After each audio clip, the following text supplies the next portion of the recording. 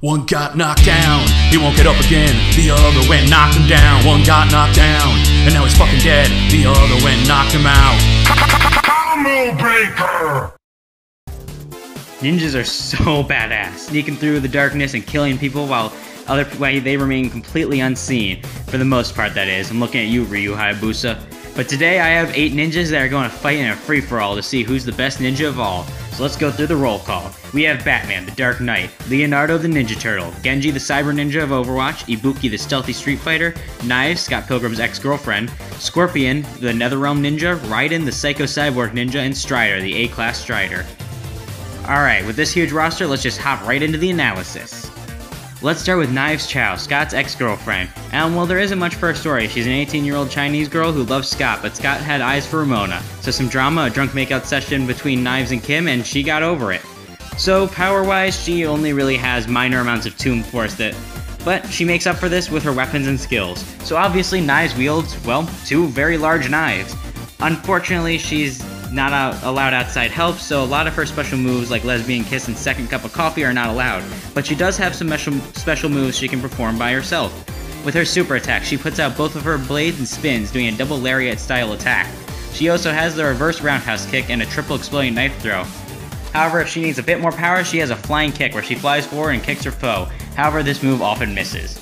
Now, Knives actually has some pretty great strength feats. She was once able to har uh, harm Ramona by cutting her face. However, Ramona was holding back and Knives was going all out, so you can't scale her fully. Although she is uh, although she is incredibly fast, she's actually able to catch up to Ramona and even outmaneuver her with acrobatics. She's also able to survive attacks from certain evil exes such as Todd, who slapped the highlights out of her hair. And Knives does Knives is incredibly smart. She does well academically, she's knowledgeable in fighting, but she isn't the most mature, self-aware, or socially inept person. And she isn't exactly clear-headed in a fight either, and she'll rush someone down rather than taking this advantage of surprise. From one female ninja to another, let's talk about Ibuki. And just like every other Street Fighter character, I have no real good way of explaining her story because it's weird. So I guess we'll just move right into her special attacks and items. Ibuki can teleport and manipulate her ki to create after images. Ibuki also carries kunai, and exploding kunai. She also carries some bombs. Now Ibuki comes fully equipped with an arsenal of special moves. The Thunder Strike is a powerful ki explosion punch usually targeted at the opponent's ribs after she grabs someone's arm. She can also, she also has a bunch of other attacks, like the ability to create after images after dashing forward. She also has the neck breaker where she slides past her foe, jumps up, wraps her legs around their head, and spins in a weird like fashion and then sends them flying with a neck snap. She also has this like ki charge punch attack which can destroy projectiles, and she has a teleport that leaves a log behind. She also has the power that uh, this power where she uses this ki ball to attack in a massive uh, with a massive size and destroy your foes. Ibuki is strong enough to fight Karin in a head-to-head, and she's uh, Sakura's rival.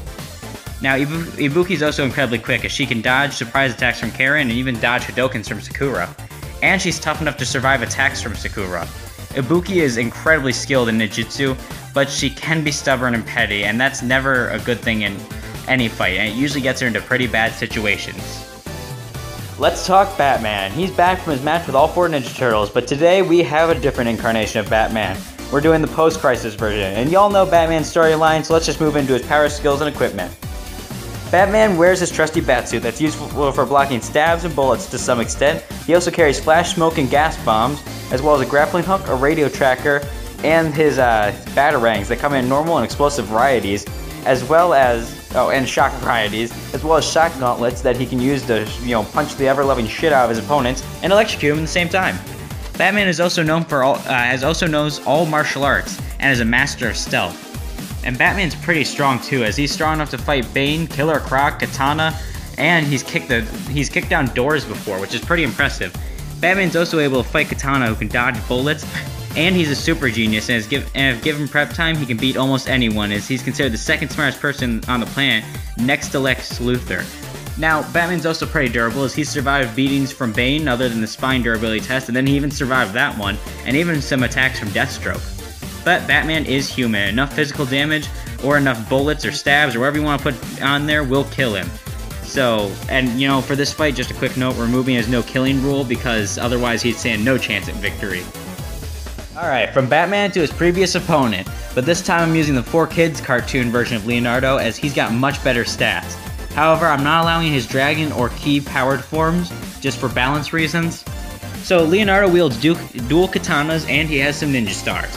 He's strong enough to kill uh, com- kill complete carnage, match the shredder blow for blow in a sword fight, and he can hold a T-Rex's mouth open while it bites down.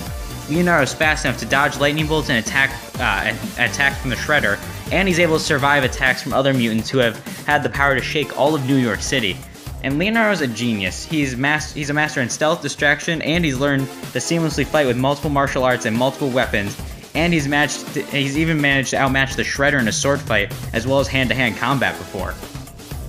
Now it's time for Scorpion, the ninja from the Netherrealm, an eternal rival to Sub-Zero, until he joined him up in another Mortal Kombat. You know what? Mortal Kombat's storyline is complicated, so let's just move into his powers and whatnot.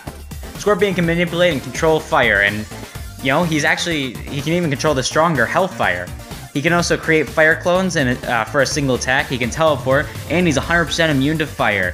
He can also bring him, uh, himself and others into the Nether Realm, where he gets stronger the longer he's in there with no limit. Scorpion also carries two swords and a dart attached to a long chain that he uses to pull in people for vicious combos. I would cover his special moves, but most of them are self-explanatory, like fireballs and stuff like that, so there's no reason to waste time. Scorpion is brutally strong. He's uh, defeated Liu Kang, Nightwolf, Cyrax, killed Sub-Zero, and he's even beaten Sektor, and more recently, and you know, a better feat, as he's defeated Quan Chi and Raiden. Scorpion's also quick enough to dodge attacks from and fight Sub-Zero in a rather close battle, and he's strong enough to survive beatings from Sub-Zero and Quan Chi. Scorpion's also a master fighter, as he's mas- he's mastered in close range, uh, close range vicious fighting style, and is skilled enough to take out and kill other MK combatants. Now on to Genji, the Cyber Ninja of Overwatch. Genji wields an unlimited amount of shurikens and his signature Dragon Blade. Genji can slash his opponents with a dash, or he can deflect project- all projectiles with his sword. He even, uh, if he needs some extra power, he can call upon uh, the dragon to increase his power, his cutting power anyway, with the Dragon Blade. Genji can easily go toe to toe with Over- Overwatch's toughest heroes like Winston, and his sword is capable of blocking full on tank shells. Genji is fast enough to deflect Widowmaker and Bastion gunfire, and he can continuously run circles around Doomfist, who could dodge point blank Tesla shots from Winston. Genji has survived beatings from Overwatch's toughest heroes like Winston and every other heavy hitters, but despite his former career, uh, career he's kind of frivolous and he's in, I mean he's extremely capable in combat and he's a great ninja and all, and he's able to even throw ninja stars at perfect accuracy and even dodge Hanzo's arrows. But he can get incredibly cocky and reckless if he, uh, you know, if he's let loose in battle for too long and does too well. Dude, Strider is one crazy mofo. Like, you know this you know that guy who graduates early from like high school or something? You're like, damn. Well, Strider is the youngest person to ever reach the A-class Strider, and damn, dude, does he deserve it? He's crazy. He's like that kid who graduated like 17 years early. Now, it's no wonder why he made it so far with the powers and weapons he has. Strider has a sixth sense that he uses to dodge incoming attacks, and he can create electromagnetic fields that he uses to reflect incoming projectiles. His blade can be enhanced with fire and ice, and he can summon intangible versions of himself and even slow down time. He does carry his Cypher Sword, with, which is basically a lightsaber and ninja sword hybrid. He also carries kunai. He also has a multitude of robot helpers like flying robobirds with grenades, a robot, a bunch of robot panthers, and uh, he has these two little small like satellite thingies that fly around and shoot laser discs. Now Strider is super strong. He's strong enough to crush a gravity core, chop a human in half with his hands, and slash through mechanical dragons with his Cypher Blade. Strider's fast enough to dodge lightning and shadow tag bullets, which are like anti-aircraft bullets, but built to hit him. Now Strider is also tough enough to survive being shot, stabbed, and even fighting high-powered robots. He's also highly trained in combat and tactical fighting. Ah, Alright, and the Mecha Ninja from Metal Gear, who uses absolutely zero stealth. I mean, honestly, people are like, well, Batman's not a ninja. No, Raiden is like the farthest thing from a ninja you can get and still have him be considered a ninja. Raiden can use his special invisibility powers, he can manipulate lightning to some extent, and he's got what is called a Soliton radar that tips him off about the, his surroundings and his foe. He also has enhanced sight, he can absorb energy from other cyborg ninjas after he kills them to boost his, you know, energy levels, and in his Jack the Ripper mode, he has increased all of his stats, including precision. Now, Raiden carries a multitude of firearms and explosives, but you don't give a crap about that. You're here to talk. You, you're, you're here to hear me talk about the high frequency blade, which basically vibrates super fast so it can cut through anything by weakening its molecular structure. Think like Captain America's shield if it was a sword and used for pure aggressive offense. Now he's strong enough to cut down large Metal Gears and fight other enhanced super soldiers like Armstrong. He can move at Mach 473 casually, but if you get him pissed off and he goes Jack the Ripper, he can go at 2.6% the speed of light.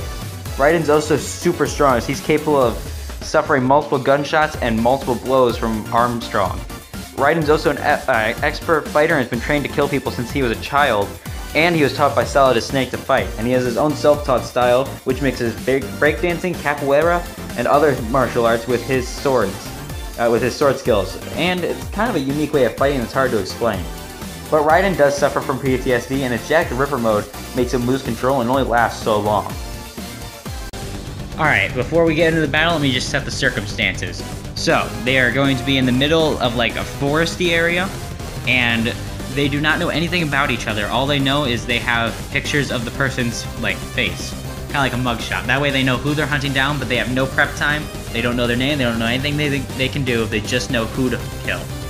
So with those set, let's go right into the battle. Knives is walking through the woods when a batarang flies past her head. Knives looks over to see Batman who hops down from the tree. Knives runs over and slashes at Batman who dodges, sucker punches at her, and then kicks her against a tree. Knives starts to get up but can't find Batman. She looks to see a batarang fly past her uh, face as it explodes, knocking her to the ground. Knives gets back up and runs over, uh, runs into the woods.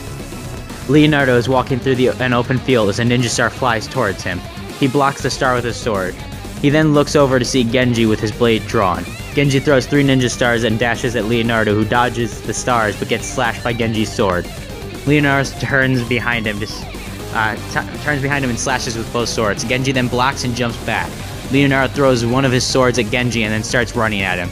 Leonardo slashes at Genji, who blocks, but he then grabs his other sword uh, from midair and slashes at Genji, cutting open his leg.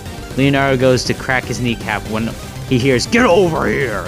Scorpion chain, uh, chain, Scorpion's chain blade flies through Leonardo's arm and pulls him in towards Scorpion, who kicks Leonardo, cracking his skull open.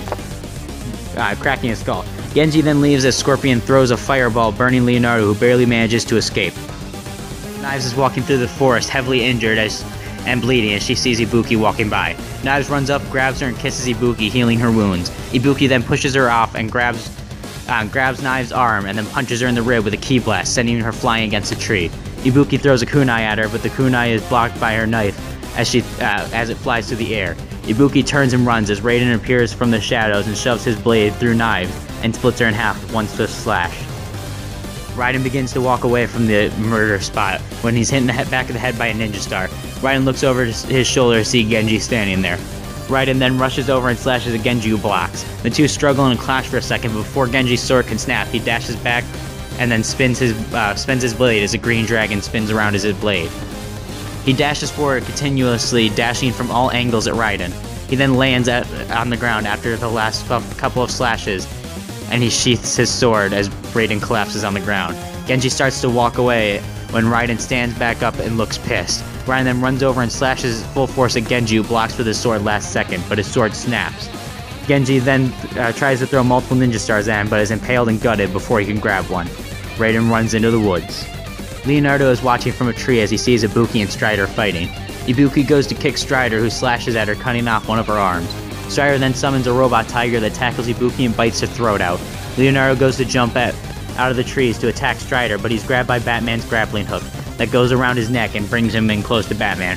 Batman then starts to sh- uh, punch him repeatedly with shock gauntlets as Leonardo is uh, as Leonardo tries to struggle to get out of the grab. Leonardo manages to cut the rope and he looks at Batman, who goes in for another punch, but Leonardo catches his fist and throws him against a tree, impaling him on a branch. Leonardo goes to the rest goes to the uh, goes to rest as a fire erupts in front of him, and Scorpion kicks him back and throws his chain blade through his head and tears it off. Scorpion vanishes in flames as Strider jumps to attack him.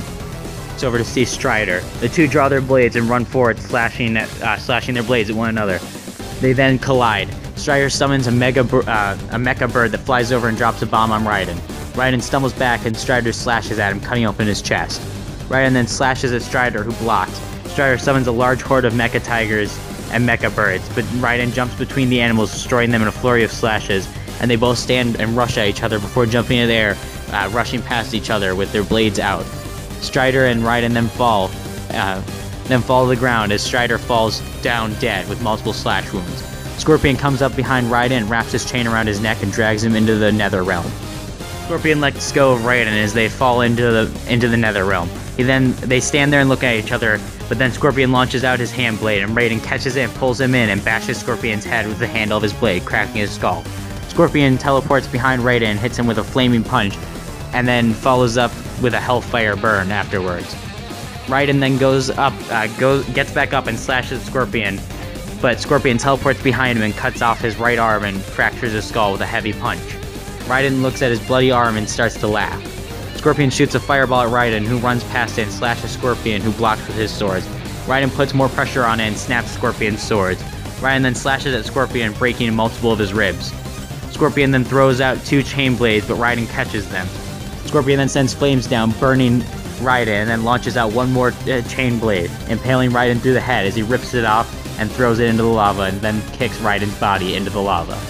Our winner is Scorpion. This probably came as a shock to a lot of people, but when I researched it, really honestly, I found something that tipped this in Scorpion's favor. So let's go ahead and pick apart this match.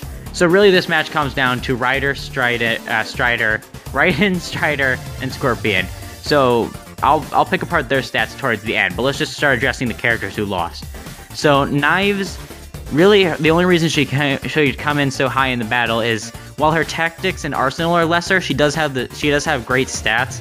And if she were to find Ibuki, she could technically kiss her and heal her wounds, as that's the, how the move Lesbian Kiss works in the games. She kisses Kim and heals her. Now, Strider's high-tech gear does allow him to keep up with Raiden and Scorpion, even though he has lesser uh, lesser stats, but his gear and tech definitely allow him to keep up, kind of like Batman. So now on to the four who didn't really make it into the top. Batman's tech and intelligence and stealth would definitely allow him to take out and uh, fight and take out lesser opponents, like you know knives. But and that's really only if he plays his cards right. But he doesn't really have the stats or anything to be able to fight Raiden or Scorpion and live. Genji, another one. He's actually incredibly weak compared to the rest of the cast at large building level at best. He can't really handle the heavy hitters like Raiden and, and all that. Plus, if Raiden were to kill Genji, he would just get more energy and heal up. Ibuki is around the same level as Knives in strength, but her lack of a weapon would leave her rather vulnerable and just lead to her inevitable death. And finally, Leonardo, who stands the best chance of these bottom four with his skills and weapons that would allow him to keep up in battle against some of the heavier hitters, just not Scorpion or Raiden. So on to our top two ninjas, Scorpion and Raiden. Well, their stats are pretty much exactly dead even. They, uh, so this really came down to X factors. And yes, Raiden has his Jack the Ripper mode that makes him incredibly fast and strong, but Scorpion could technically kill him instantly by teleporting him into the Nether Realm into a lava pit. Well, or if he just teleports him to the Nether Realm, he'll get repeated. He'll just keep getting stronger with no limit. Whereas Raiden's Ripper mode only ha- uh, does have a time limit. And I think Scorpion, with his moves like teleportation and creating clones and everything, is more than capable of surviving that time limit and eventually overpowering Raiden. So our winner is Scorpion.